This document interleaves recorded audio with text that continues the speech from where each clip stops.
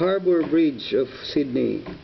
It's it's like uh, at the down down the bridge. It's you can see the Sydney Opera House, and I, I was with Victor Wood when I was when we were just just uh, like hanging around the place.